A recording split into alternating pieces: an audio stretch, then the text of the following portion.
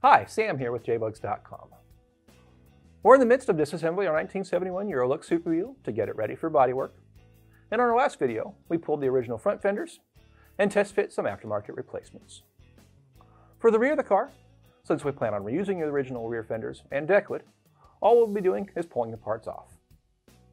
Since we'll also be removing the running boards, we start by jacking up the sides of the car and setting the front and the rear on jack stands. We pull off the rear wheels, and we'll note again, take pictures of any of the wires or other parts you aren't completely familiar with to make assembly easier in the future.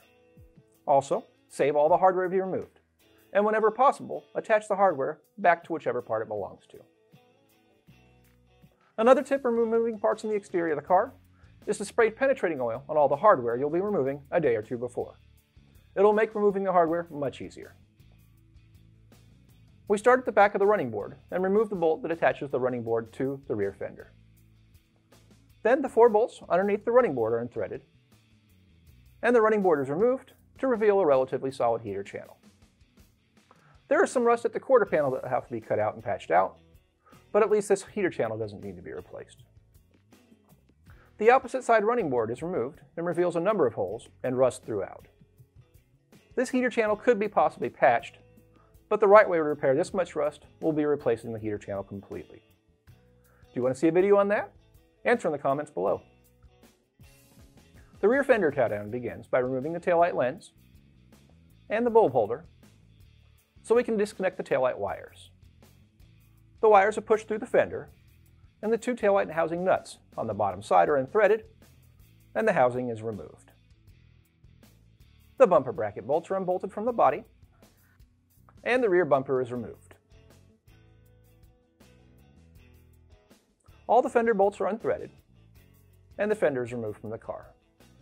There's minimal damage to the fender, and other than a few small cracks at the bottom, the fender's in great shape.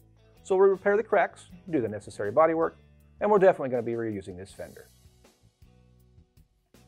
The opposite side fender is removed in the same manner, and all goes well, other than the very last body nut at the apron which spun loose while the bolt was being removed.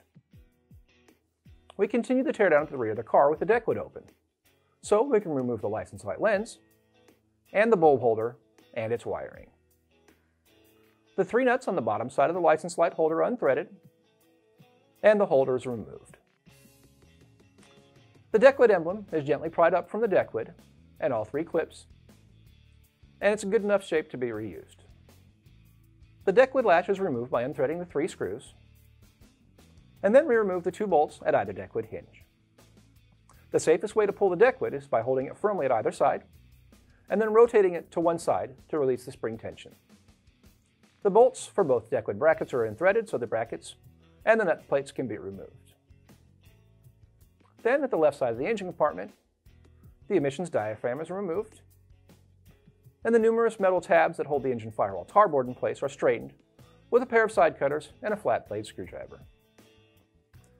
Once all the tabs are straightened out, the rear tarboard is removed along with some of the wiring. Most of the remaining wires in the engine compartment are pulled out and cut away from the car since we'll be replacing it all after the car is painted. The right side tarboard had already been removed so we could access the wires that would go behind it. The body tabs for the left side are pried up so we can remove the left side tarboard. And we continue removing and cutting back the wires down to the main harness itself. We will leave this section of wiring as we'll use it to pull the new harness through the body later. And with that, the rear teardown of our Beetle is fairly complete. In our next few videos, the teardown will continue, where we'll cover tearing down the interior and removing the dash and all of its components. Then we'll get into the trunk and continue cleaning and disassembling the car down to the bare body before we finally pull the body off the chassis. Thanks for watching. Make sure to click the like button below and subscribe to our channel if you haven't already. And as always, when you need parts or accessories for your vintage Volkswagen, head over to jbugs.com.